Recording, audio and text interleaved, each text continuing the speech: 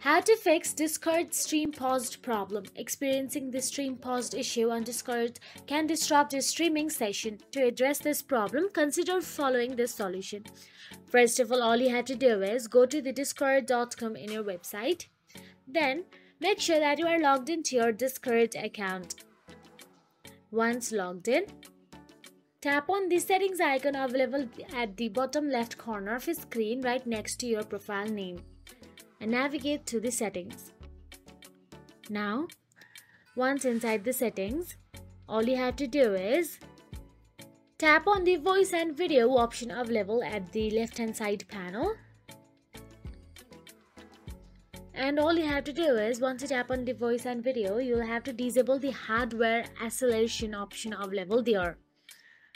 So basically hardware acceleration seems to cause quite a few problems with Discord so try disabling it. Finally, after you do so, restart Discord and your stream should be working without issues. So that is it. If you found this video helpful, please like, share and subscribe our channel and thank you so much for watching.